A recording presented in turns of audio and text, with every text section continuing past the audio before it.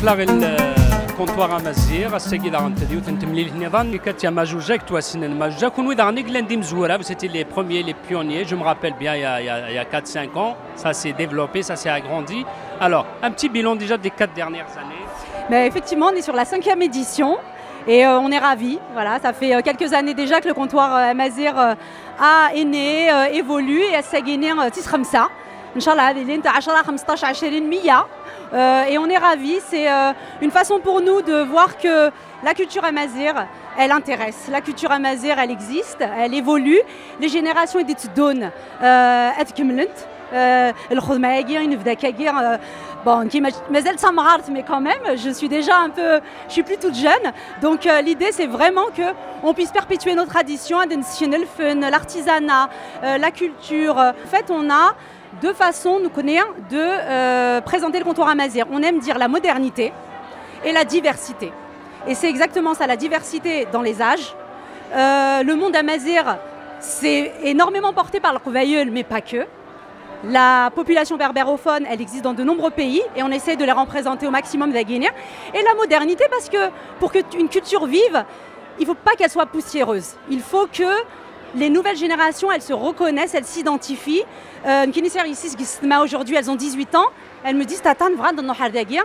parce que euh, il a le euh, et il y a l'avenir qui nous ouvre les portes. Et c'est exactement ça le comptoir à Mazir. Voilà, derrière nous, il y a des enfants, il y a des femmes, des hommes, il y a de tout et c'est vraiment ça. Là, on est euh, là, je crois qu'on atteint notre record en termes d'exposants puisqu'on est à 29 exposants.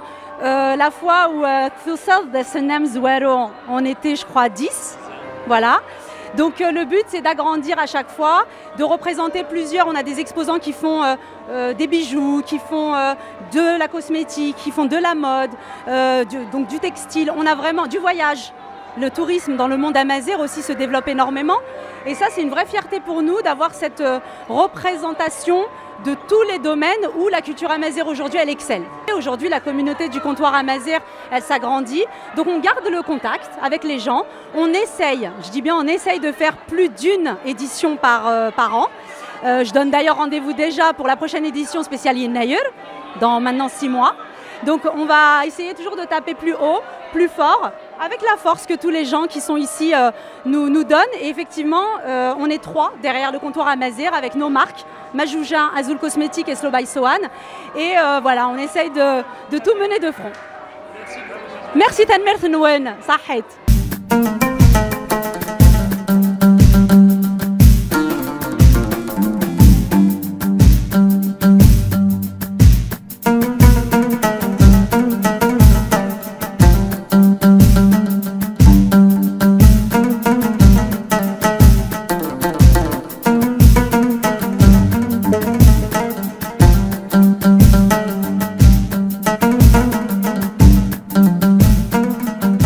مازال على الكونتوار امازيغ نملالتو لك ذرا راح نخدم لي شوكولا ربح زول فلاي alors est-ce que vous pouvez nous dire qu'est-ce que vous faites je vois des chocolats alors Azul Flaoun, ismi euh, Rabah, je suis euh, chocolatier et euh, j'ai voulu mettre à l'honneur notre, euh, enfin, une part de notre culture euh, dans les chocolats, que ce soit par les designs, euh, au niveau des saveurs également. J'ai fait une petite création pour l'événement de Thamzana Kudzit ou Zmour. القراصه كده حباق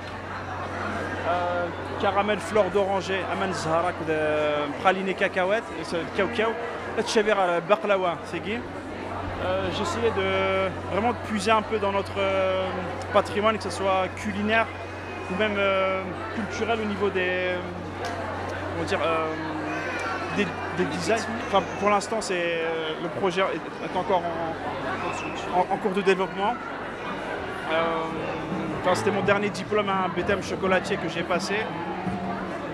J'espère euh, être euh, assermenté artisan chocolatier pour pouvoir. On aura toujours cette touche. bien sûr, évidemment, bien sûr, c'est.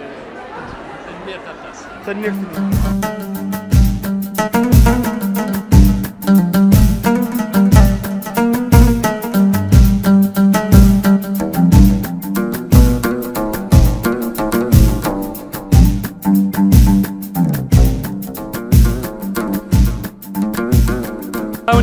Soraya, euh, toi c'est Soraya aussi, euh, Sohan. Vous étiez là au début, comme je disais aussi à Majouja, à Katia, euh, à Kevin et Salwa, vous étiez les trois, vous étiez les piliers.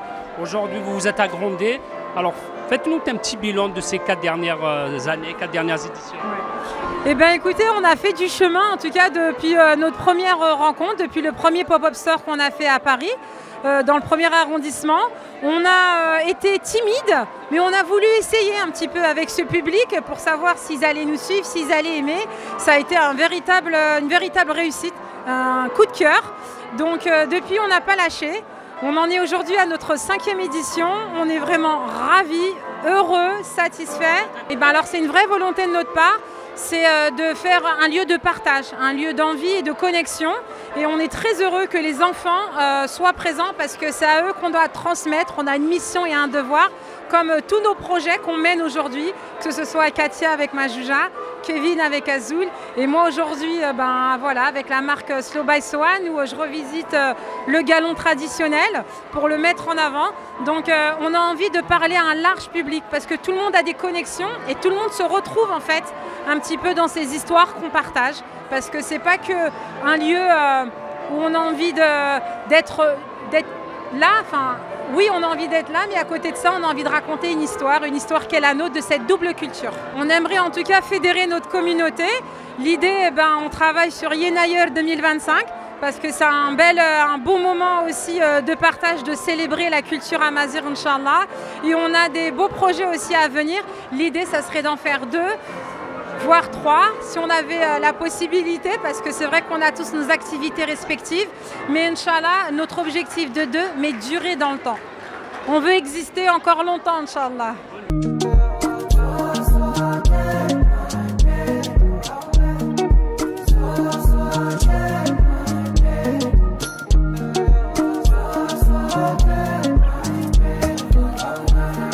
On continue la visite et on est chez Visite Amazir. Alors, vous pouvez nous parler un peu du concept? Bien sûr. Donc, Visite Amazir, on propose des voyages sur le thème de la mazirité. Donc, l'idée, c'est d'aller faire, euh, d'amener les gens à découvrir bah, tout ce qui a trait à la culture amazir en Afrique du Nord. Donc, que ce soit au Maroc, en Algérie, en Tunisie, en Libye, au Tchad, peu importe. La mazirité, ce qui est intéressant, c'est que, évidemment, c'est des paysages. Il y a une variété de paysages extraordinaires en Afrique du Nord. Mais ce qui est intéressant, c'est surtout d'aller rencontrer la culture. Donc c'est d'aller rencontrer les gens qui font vivre cette culture au quotidien, que ce soit des artisans, des agriculteurs, des artistes, des poètes. Et nous, on amène les gens bah, à découvrir tout cela. On a un, compte Instagram, Visite Amazir, ou un site internet www.visiteamazir.com. Vous nous envoyez un mail et on organise le voyage avec vous. Euh, nous, on est convaincus d'une chose, c'est qu'au travers du voyage, on peut aider les gens sur place à vivre de leur culture. Donc l'idée c'est que en fait quand on va rendre visite à un artisan, ben, on le rémunère parce qu'il nous a montré, il nous a accordé de son temps, il nous a montré son savoir-faire. Et donc c'est comme ça aussi qu'on veut aider les gens sur place à vivre de leur savoir-faire.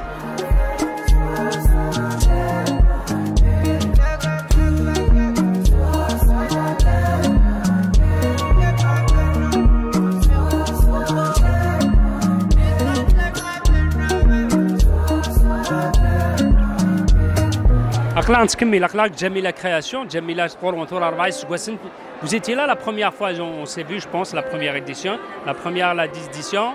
Ça, alors, au bout de 4-5 ans, quel bilan vous faites تنرني كل سكواس نتنرني ما تشد وذا دي روحني لندي لان لان ودي دي تسني لندي باغ اكزومبل تدي روحني لندي ادو غالا سكواساكيا لان يجدي لندي تساس كل سكواس ديالنا جو ماميليور اوسي دو دو دو بلوس ان بلوس ما تشد وذا خدم غير لندي خدم غير سكواساكيا سكواساكيا خاطر خدم أختي الشراد خدم غير رقم سي ان بو ديفيرون زمرات تخزر ان بو لي سامبول داكير جيساي ديالنا غاد تسفهم كيرا لي سامبول ذا شوثن اطاسك تقلب ذا شوثن مالوغوزمون لا الكرا نسنيثن لا الكرا نسينا اين ندو فادي الكتافين ندو فادي الجدودنا نشفى في الناس نزرا نزرا ذا شوثن وهي اوتونك ديكوراتيف سي دي سامبول ديكوراتيف خدم غا كوخام بور لانستون شويت شويت كان خام بور لانستون جي ما باج انستغرام ديالنا وني حوايج لحاجه زمري يدير كاع ميساج جميله كرياسيون سا ما باج انستغرام جميله كرياسيون وني حوايج لحاجه يدي يكتب اش تشكع يا با بروبليم صحيح يعطيك الصحه يخليك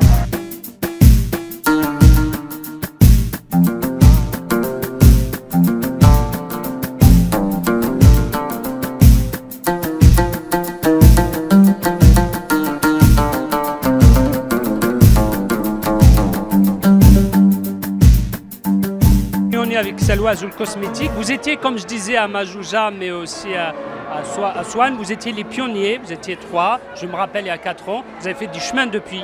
Clairement, on a bien avancé, on est hyper content du chemin parcouru, de l'ampleur qu'a pris le comptoir Amazir, le fait de rassembler autant de gens euh, ensemble ici, d'avoir les mêmes valeurs, d'avoir une ambiance, une atmosphère qui nous rappelle un peu chez nous. Non, clairement, on est content du chemin parcouru. Ceux qui viennent, qui vous rejoignent, j'ai vu qu'il y a de plus en plus d'exposants. Quelles sont vos petites exigences Qu'il y ait cette touche Amazir quand même? Clairement, clairement. Ça s'appelle le comptoir Amazir par pour rien. C'est vraiment venir valoriser la culture Amazir, qu'elle soit d'Algérie, du Maroc, de la Tunisie. On essaye de s'étendre même à d'autres pays. C'est un peu compliqué à trouver encore aujourd'hui des créateurs. Par exemple, du Niger, on a déjà échangé avec une dame du Niger. Euh, mais vraiment, oui, c'est vraiment avoir une touche d'amazérité dans les produits qu'on propose. Aujourd'hui, Azul Cosmétique ou d'autres, comment ils font pour, pour avoir la matière première Est-ce que c'est, l'huile d'olive d'Algérie, du Maroc Comment vous faites? Est-ce que vous arrivez à avoir l'huile d'olive ou, les autres matières, j'allais dire premières, de Tamazra, de Cabiou Finalement, vous, travaillez un peu avec ce qu'il y a ici? Alors, bah, je vais parler pour Azul Cosmétique principalement, mais nous, effectivement, on va chercher la matière première en Algérie. Donc, pour notre savon, c'est l'huile d'olive d'Algérie. Les, les matières, matières, principales aussi qu'on a, donc l'huile de pépin de Barbarie par exemple, on va chercher les pépins de Barbarie à un fournisseur en Algérie, on presse en Algérie et on importe ensuite ici, en France. Je vois qu'il y a beaucoup de jeunes aussi, euh, il y a beaucoup de jeunes, il y a beaucoup de femmes, il y a beaucoup de familles qui viennent vous voir. Le but, c'est ça ici, c'est vraiment d'essayer d'amener un public qui ne vient pas peut-être dans les manifestations culturelles classiques. Exactement, venir rassembler les gens qui ne se retrouvent pas peut-être dans d'autres événements et qui ici va leur permettre vraiment de, bah, encore une fois, de se sentir chez eux et de se dire bon bah c'est cool, moi aussi je suis représentée, mes origines, je peux les retrouver ici, je peux retrouver des gens aussi qui me ressemblent et passer un bon moment. Alors si je euh, pouvais vous demander les quelques petites difficultés, peut-être il y a quand même quelques petites difficultés quand on est comme ça, jeune, on veut lancer euh, une affaire mais qui porte aussi sa culture euh, d'origine, est-ce qu'on rencontre quelques difficultés? On rencontre toujours des difficultés, peu importe ce qu'on fait dans la vie je pense.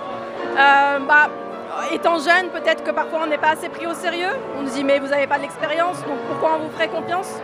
Mais avec le temps, finalement, ça finit par s'estomper et on se rend compte qu'il y a un travail vraiment derrière chaque projet, pas que le nôtre. Et que c'est des gens en qui on peut avoir confiance et qui veulent sincèrement aussi, c'est ça aussi qui est hyper important chez l'ensemble des, des créateurs ici, la sincérité. C'est des projets qui viennent du cœur, où on veut vraiment valoriser nos origines. Et donc ça nous permet d'avancer et de faire face aux difficultés qu'on peut avoir au quotidien. Et puis je sais que c'est des produits destinés donc à, tout le monde, mais est-ce que vous, commencez à avoir peut-être euh, cette perception aussi, les Amazirs, de consommer un peu Amazir? Parce que quand on dit Azul Cosmétique ou d'autres marques, elles portent en elles-mêmes déjà donc euh, la culture, l'identité Amazir. Les gens viennent aujourd'hui parce que justement il y a ça.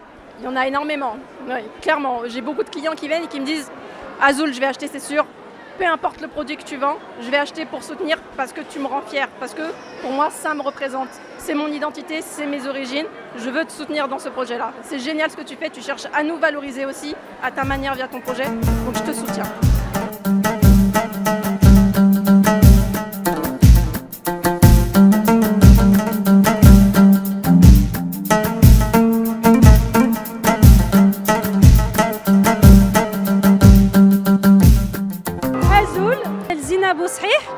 Je suis tunisienne d'origine amazir et j'ai créé la marque Psissa. La Psissa, c'est un produit du terroir tunisien. C'est un mélange de céréales, de légumineuses et d'épices qui sont torréfiées et moulues. Je vous le montre. Ça ressemble à ça, la Psissa. C'est une poudre en fait qui est riche en protéines, au calcium, au magnésium, en fer. C'est un super aliment qui date depuis 3000 ans. C'est nos ancêtres, les Amazirs, qui ont inventé ça pendant leur voyage dans le désert. Ils ont inventé cette poudre qui n'est pas périssable, qui est facile à transporter, facile à préparer et surtout elle n'est pas périssable. C'est fabriqué en Tunisie par des femmes tunisiennes chez elles. Elles font ça chez elles de, façon traditionnelle. Je leur donne mes paquets, mon packaging, et elles le remplissent pour moi. Après, il y a les pâtes aussi. C'est moi qui les fais en France. Ça, les pâtes, elles sont made in France. Je ramène ma psissa de la Tunisie. Je mélange juste avec de l'huile d'olive et du sirop d'érable pour avoir un Nutri-Score 1. Parce que c'est très healthy la psissa. Il ne faut pas qu'on mélange avec le sucre, on va perdre les valeurs nutritionnelles. Et la psissa aussi, c'est un substitut de farine. On peut faire plein de recettes avec. Regardez. On peut faire des pancakes à base de psissa. On peut faire des boules d'énergie, on peut faire des falafels, de l'eau détox, de la soupe, des smoothies, plein de bonnes choses en fait. C'est un super aliment et c'est très bon pour les enfants, pour les femmes enceintes, les femmes qui allaitent, euh, les travailleurs dans les champs avant ils prenaient de la psissa en Tunisie. En fait, la psissa ça donne de la force. Exactement, c'est bon pour tout le monde. Alors, mon objectif, c'est de représenter une tradition berbère ancienne de la Tunisie. Mon objectif, c'est de dire que les berbères de la Tunisie existent, on est très nombreux et on a envie de s'inscrire en fait dans le cercle amazir du Grand Maghreb. Bonjour, je m'appelle Manel. J'ai créé avec Sarah, ma sœur, un concept store. Donc, c'est un concept store algérien qui s'appelle le 213 Concept Store. Donc, euh, nous sommes euh, situés sur Paris 14e, donc au 122 rue de l'Ouest. Donc, notre but, c'est de mettre en avant nos créateurs algériens qui sont d'Algérie, d'ici et d'ailleurs. Donc, vous pouvez trouver un peu de tout. Vous pouvez trouver, du prêt-à-porter, euh, des accessoires, euh, de la déco d'intérieur. Euh, on a également donc le côté culinaire. On a Tala qui fait de la conserverie, donc tout ce qui est slatam chouïa, de la purée d'ail, caviar d'aubergine, ben, ça vient tout droit d'Algérie. Donc on retrouve un peu les saveurs euh, de là-bas. On a aussi de la purée d'ail, euh, pardon, de la nectar de, de date, euh, l'huile d'olive aussi, de dahlia et de derbiya. Donc voilà. Et on fait aussi dans notre concept hein, des événements. On fait des soirées pendant Ramadan. Donc on fait des soirées à thème, donc des soirées qui représentent chaque région d'Algérie. On fait des stand-up, on ramène des humoristes algériens. Euh, voilà, donc euh, on nous appelle la maison d'Algérie.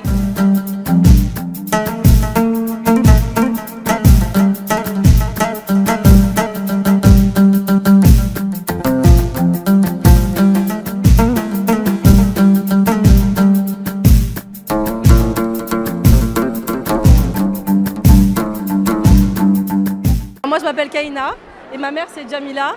Et du coup, on a créé une entreprise qui s'appelle Camila, donc qui est la combinaison de nos deux prénoms. Et euh, on propose des dates fourrées enrobées de chocolat, donc différentes, enfin fourrées de différentes crèmes. On a huit recettes et nos dates viennent d'Algérie et elles sont ensuite enrobées de chocolat. Je fais ça avec ma mère. On a un laboratoire dans le 94. Euh, on a un site internet, donc camiladate.com. On est présent aussi sur les réseaux sociaux. Et euh, sinon, on a un point de vente partenaire dans le 92. C'est la première fois qu'on participe au salon euh, du comptoir Amazir, donc je suis très contente. J'ai connu euh, une des, personnes qui, fait partie de l'organisation dans un autre lieu, le 213 Concept Store. Et donc là, l'idée, c'était déjà de partager un moment tous ensemble autour de la culture Amazir, euh, de rencontrer d'autres prestataires, de rencontrer nos clients aussi et, de faire découvrir notre marque.